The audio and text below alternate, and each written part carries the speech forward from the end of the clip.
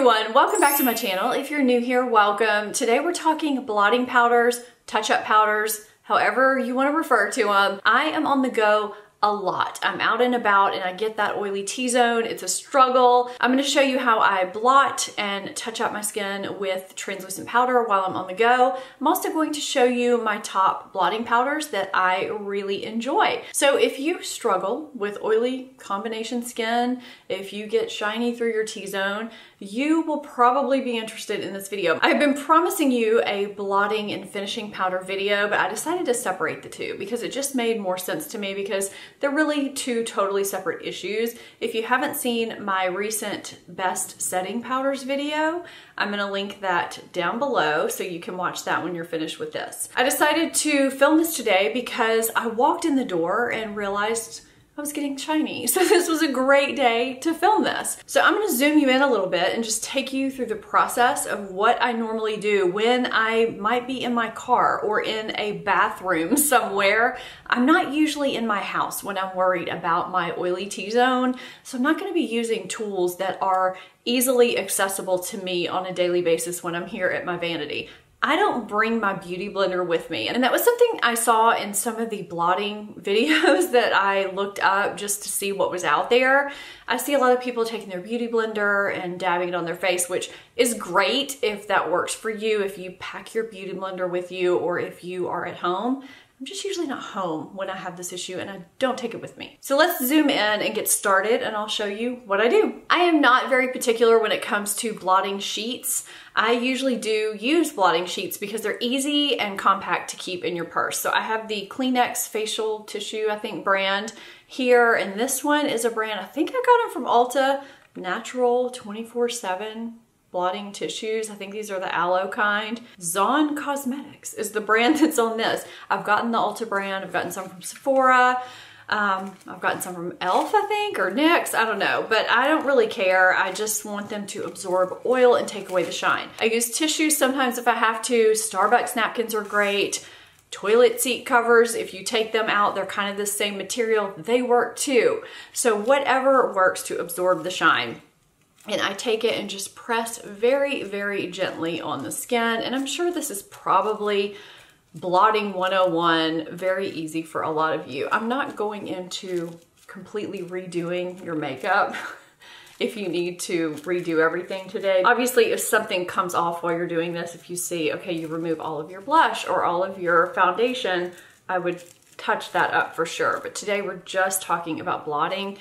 I find that because I'm so particular about my makeup that I apply and try and recommend to you guys, I really don't have to reapply hardly anything, if ever, while I'm out during the day except for lipstick. So that took off some oil, you can see there. I'm gonna take the edges of this and just see if I can get a little bit more off. But you can see that really did take down that shine that I had going on my face. And I just try and get the perimeters of the face too. And you don't want to press too hard because then you'll have a greater chance of removing your makeup. So I usually do take a second or third sheet just for extra insurance to make sure that I absorbed all of the excess oil. And you know, you can never really get it all, but it's just kind of extra insurance. So I got a little bit more on there. Another option is using something like this Blotterazzi by Beauty Blender. You can actually take this, and I probably should have showed you this on one side of my face. I'd actually intended on doing that. This works too if you don't want to use papers, but you can just take this, pop it back in, you can reuse this. You just need to wash this, but this is another option if you don't wanna use blotting sheets. Okay, so let's get started with the powders. I have a couple of drugstore options in here and I have three that I probably reach for more than the others. I don't know why, I guess I just feel like they work a little bit better, but they all work pretty well. So it's really just your preference if you try these. The two that I, I keep in my stash, but I haven't really reached for them in a long time, but they are still really good. I guess you're gonna see some of my quirks in this video. it's kind of embarrassing. This is the Laura Mercier Matte Translucent. This one, it almost has kind of a green tinge to it because it's matte.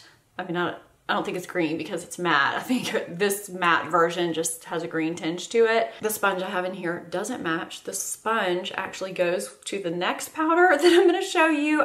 My sponges always get mixed up because I'll wash the ones that are in here and I'll replace them with a different sponge. I do prefer applying my touch-up powder, my blot powder with a sponge or a puff kind of thing rather than a brush because I feel like it presses it into the skin a little more firmly than a brush does. Very similarly to if you're applying a setting powder, if you dust it on with a brush, kind of sits on the surface of the skin versus pressing it in with a puff or a beauty blender. So it's just the way I feel about it. It also looks pretty natural if you just really get it in the skin.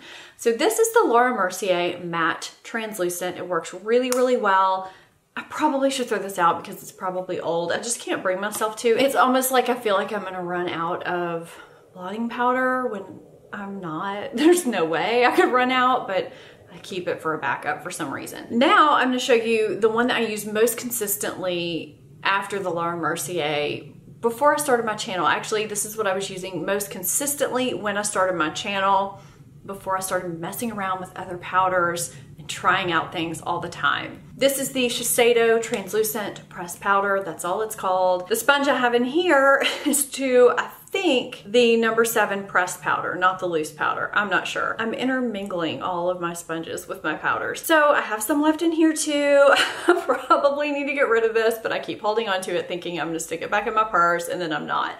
But this is also a great powder. It looks very natural on the skin, but it does seem to absorb and control the oil for a long time. I feel like I'm gonna be kind of repetitive with these powders because they are all translucent. They do all mattify the skin. They don't appear to be ghostly white or anything like that. They just look nice and natural, yet they do help keep shine away for a long time. I could swatch them on my hand, but they're translucent, so there's really no point in me swatching them. I'm just gonna show you what they look like. The next one that I keep on hand as a setting powder as well as a touch-up blotting powder is the Maybelline Fit Me Matte and Poreless number 100 translucent. I've talked about this powder pretty recently actually. I love this powder. I think it's great and it's economical. It's not quite as finely milled as these two that I already talked about, but it works well and it's especially great for the price point. What I don't like I'm holding it like I'm covering up a mirror. That is what I don't like about this powder. I like to be able to open a compact and look in a mirror, especially if I'm on the go. You have to open the compact and then open it again and then take the sponge out, get your powder, then flip it up again and then powder yourself to look in the mirror. It's kind of cumbersome the way they do this packaging. I really, really dislike the packaging of this but the powder is really nice. The next one is also drugstore. I also hate this packaging and I have also talked about this before on my channel. I'm not sure if I've ever mentioned the Shiseido and the Laura Mercier on my channel before.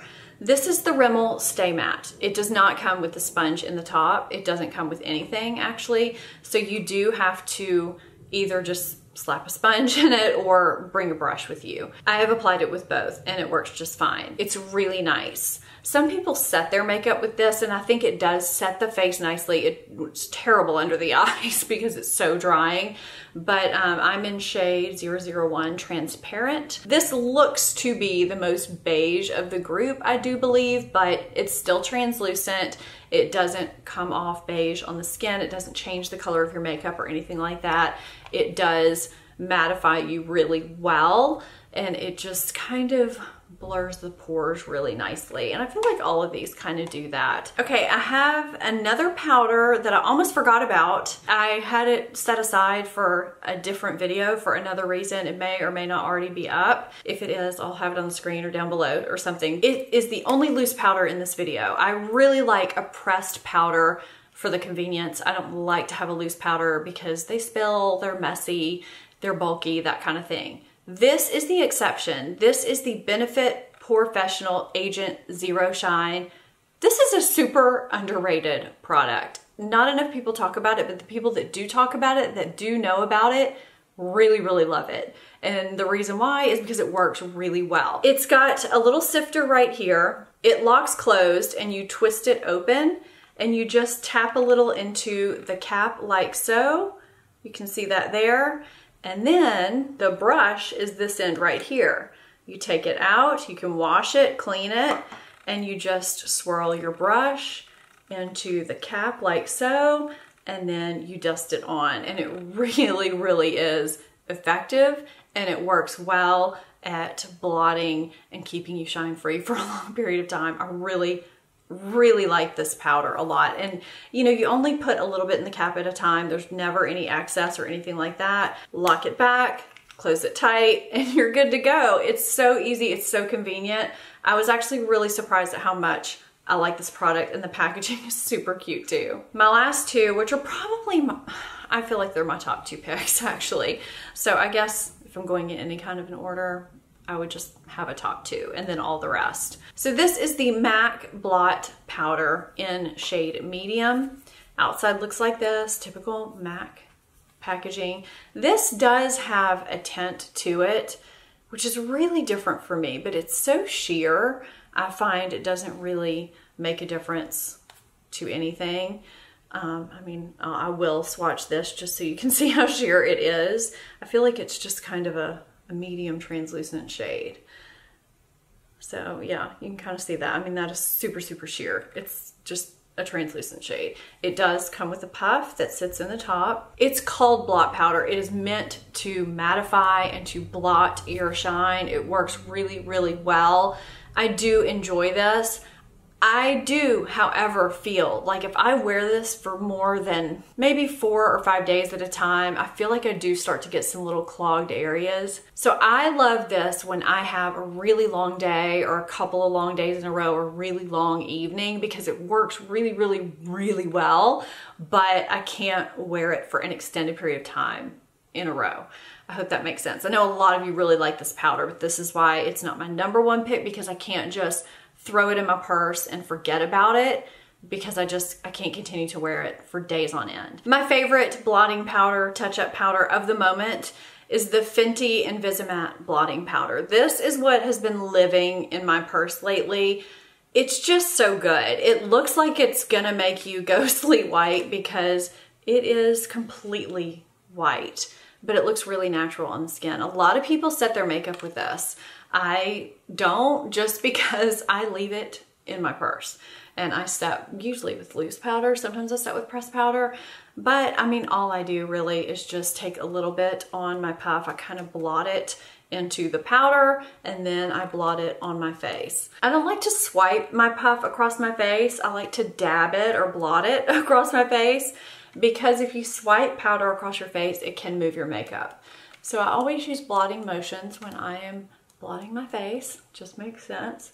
And it just looks nice and natural and it presses it into the skin. So it is probably gonna keep you matter longer or shine free uh, for a longer period of time. And that's all I do. That's it. It's very easy, nothing to it. Just make sure you press it in. You don't wanna use setting spray or anything like that when you're blotting your makeup during the day because you don't wanna lock the excess oils that have already come through in even further even though you've blotted away the oils, you still do have some that are in your skin that occur naturally anyway, and you just don't wanna set those in even more. So as long as you blotted your oils away with something before you powder, you should be good to go. That's all I do, guys. It's pretty easy, pretty simple, and those are my favorite tools and powders and now you guys know. What are yours? Let me know what you use during the day to combat the shine. I love getting your suggestions. Leave them down below for me. If you're not subscribed, hit that subscribe button. Thank you guys for watching and I'll see you next time. Bye-bye.